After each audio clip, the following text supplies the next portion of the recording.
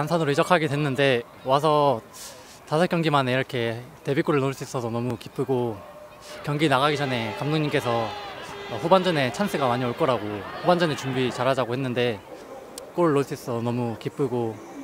다음 경기도 이렇게 다 잘 준비해가지고 네, 연승 이어갔으면 좋겠습니다. 어, 제가 어렸을 때부터 꿈에 그리던 그런 날이 와서 너무 기쁘고 일단 제일 먼저 부모님한테 너무 감사드리고 제 혼자 잘해서 넣은 게 아니고 팀이 잘해서 이렇게 좋은 기회가 생겨서 골을 넣게 되어서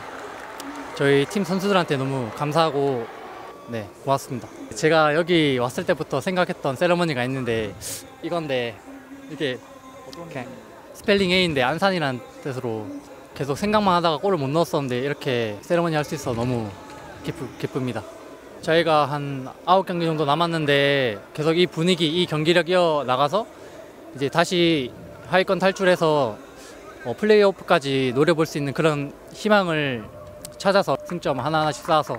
꼭 좋은 결과 있도록 하겠습니다.